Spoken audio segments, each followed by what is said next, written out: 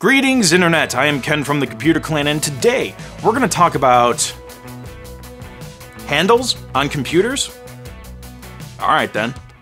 From the beginning, Apple liked to put unique features into their computers that competitors didn't really think of. And one of those little features, dating all the way back to the original Macintosh in 1984, was a carrying handle. So today I want to show you more of the other Apple products that had handles built in. We won't cover every one, but we'll cover some of the fun ones. So the Apple IIc technically wasn't a Macintosh, but it was an Apple computer, and this product actually had a built-in handle as well. It came out just a couple months after the original Macintosh did. So a couple years later, in March 1987, the Macintosh SE was released. This is one of my computers in my collection, and it has a similar handle design on the back, like the original Macintosh, so it was easy to move around from room to room. Then we get to the Macintosh Color Classic. This was released in February of 1993, and it featured an all-new design language called Espresso. So it was a little more of a curvy design, but it still had the carrying handle on the back. And if you want to see more of the Macintosh Color Classic in action, you can check out Vintage Apple Vault, which is the Computer Clan show these clips are from. So introduced in May of 1998, we have the iMac. Steve Jobs was back at the company, the design language was being changed,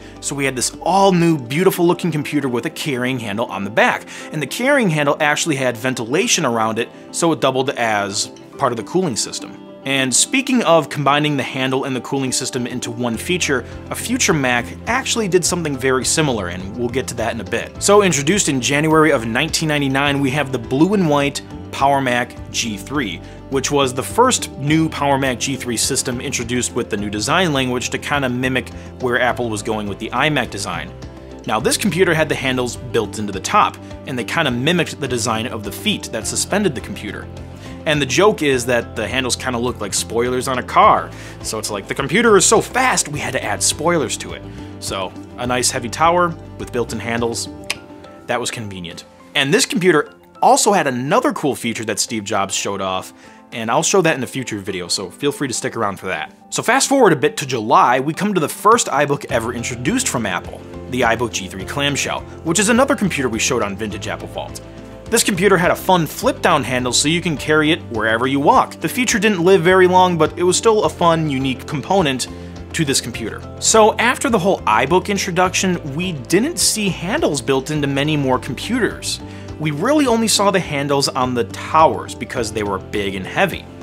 But as for the future PowerBooks and the future iMacs, there weren't built-in handles. Then a little while later, the handle features kind of subsided aside from the Mac Pro, which is kind of sad because I really wish I had a handle on my Mac Mini. Just kidding, it weighs like two pounds, that would be, that'd be kind of stupid. So we're gonna fast forward to September of 2006, where the 20-inch Intel iMac was introduced.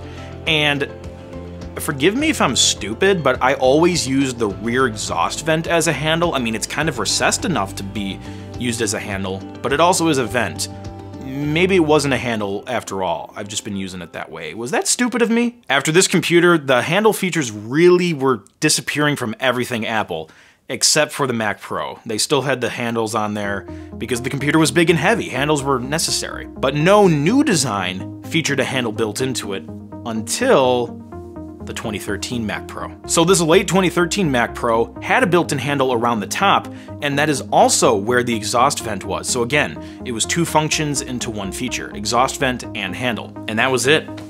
Ever since then, Apple has not built a handle into any of their other products which is totally okay, right? I mean, look at the iMac Pro. Sure, it's a $13,000 computer and it weighs, what, 21 and a half pounds? You don't need a handle to transport that around. Anyway, the handle was a cool feature, but I think it just lived its life, you know? It's not needed as much anymore. But let me know what handle design was your favorite, and let me know what other unique features Apple started killing off that you really liked. Like MagSafe, perhaps. That was a cool one bummer. And do stick around because I have more unique Apple features I want to show on future TidBytes videos, and if you want to get a more in-depth look into individual Apple products, I highly recommend checking out the Computer Clan show, Vintage Apple Vault. So there you have it. Thanks for watching, and I'll see you in the not too distant future.